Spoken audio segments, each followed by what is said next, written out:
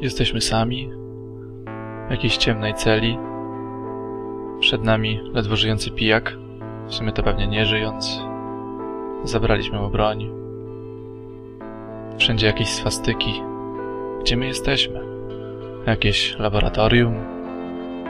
Pierwszy wróg? Pierwsze zabójstwo. No cóż, chyba trzeba się stąd wydostać. Widzimy kolejnego wroga. Podchodzimy. Kolejne zabójstwo. Ktoś już chce nadawać. Nie tym razem. Patrzymy jakieś plany. Bierzemy broń, amunicję, kolejną broń. Jest to marzec 1943 roku. Tak mi się wydaje. Po przegranych kampaniach w Afryce Północnej, pod Stalingradem, niestety Niemcy zaczęli tracić inicjatywę. Przeglądamy ich plany, niszczymy drogowskazy w ich własnej bazie, przecież się pogubią. No jasne, że tak. Wychodzimy na zewnątrz. W sumie ładne widoki. Ładny placek. Pasuje zejść na dół. Chyba sobie skręciłem kostkę. No ale cóż. Próbujemy zniszczyć generator. Też nic nie wychodzi. Kogoż my tu mamy? Dwóch znajomych. Panowie, witamy w Krakowie. Kosa w plecy. Koniec zabawy! A raczej jej początek. No to lecimy. Słuchajcie, ja jestem Kuba i witam was w kolejnym odcinku w serii Zobaczysz i zagrasz. Tym razem mam dla was przygotowanego Wolfensteina Return to Castle. To jest prawdziwy retro FPS. Tutaj po prostu naparzamy. Chodzimy naparzamy, stoimy też naparzamy, sramy naparzamy, siedzimy, zawsze naparzamy. Non-stop naparzamy. Ale poza naparzaniem jest jeszcze w tym mały wątek fabularny. A nawet powiedziałbym zajebisty wątek fabularny i dużo kryjówek. Dużo kryjówek. Odkrywamy je, chyba że nam przeszkodzą jacyś zastrani Niemcy. No ale cóż, w końcu jesteśmy w niemieckim zamku i walczymy z Niemcami, więc czego się spodziewać? Nie martwcie się, nie zdradzę wam, gdzie są wszystkie kryjówki, bo to by nie miało sensu. Jak będziecie grali, to się będziecie męczyć tak samo jak ja, żeby je wszystkie znaleźć. A i tak wszystkich nie znajdziecie. Na pewno nie znajdziecie.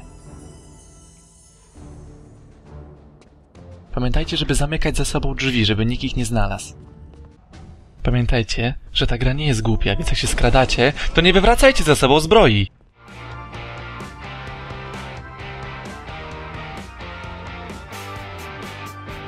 Oczywiście co to byłby za FPS? Bez stacjonarnego karabinu maszynowego, który, patrzcie, patrzcie jak rozpiża ten most! Czujecie tą moc? Czujecie tą moc? W sumie nie pojawia się on zbyt często w grze, ale jak się pojawia, to...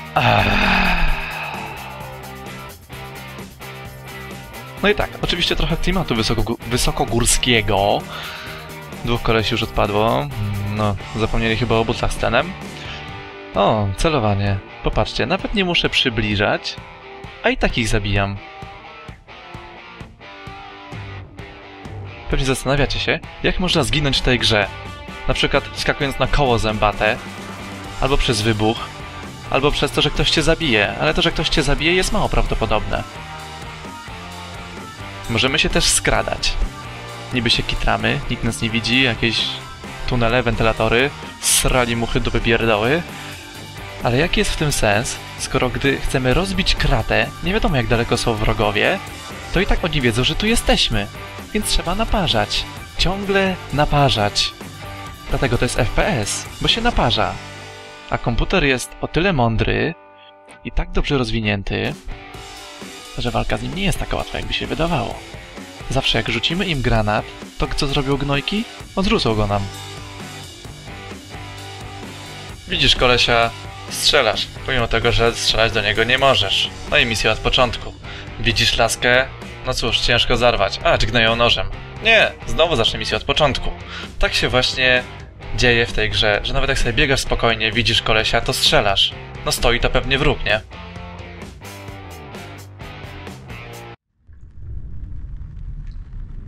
It's like a slaughterhouse in here. I know, these things are everywhere. What are they? Where did they all come from? Don't ask me, no one ever tells me anything. Mein Gott! Did you hear that? Yeah, and I wish I hadn't. We have to get out of here. Follow me back to the entrance.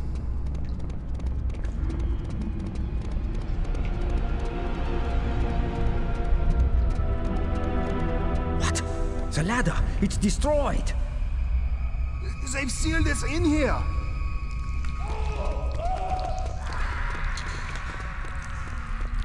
Get ready. They're coming!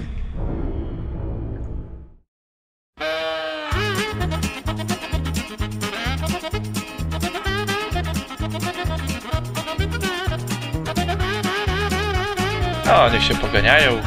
Czemu nie? Jak mówi przysłowie, gdy dwóch się bije, tam trzecie korzysta. A tym bardziej jak się biją Niemcy.